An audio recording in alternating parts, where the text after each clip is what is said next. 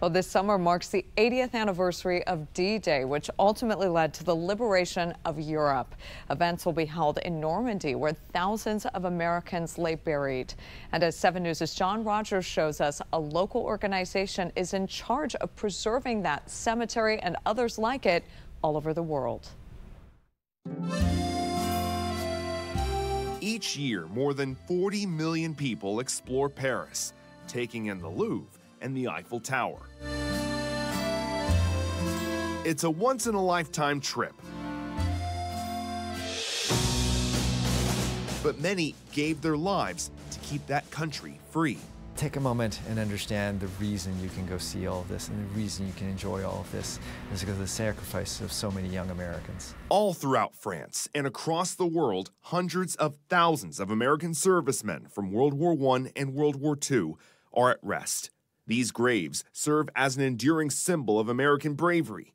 The cemeteries are under the care of the American Battle Monuments Commission, which is based in Arlington. We keep the legacy and memory alive of what America has done for liberty, freedom, and democracy throughout the world.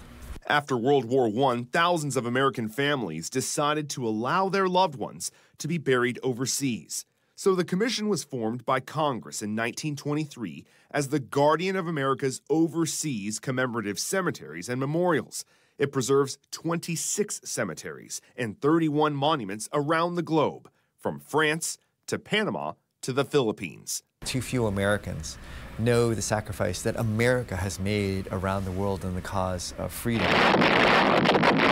Sure, we know about D Day, and ABMC cares for those grave sites. But we can't forget the Americans who died confronting Nazis in North Africa or the Bataan Death March in the Philippines. You may have heard of famed World War II General George Patton. He's buried in Luxembourg.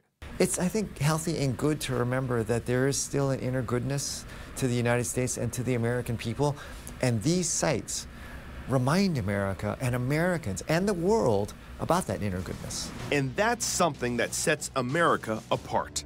We as a nation do not sacrifice for furtherance of a king or a crown. We don't, we don't send our young to go fight for plunder or, or conquest. We fight for the values of freedom and democracy. Americans are very familiar with the phrase, freedom isn't free. But these sites prove that phrase doesn't only apply to our borders. In Arlington, John Rogers, 7 News.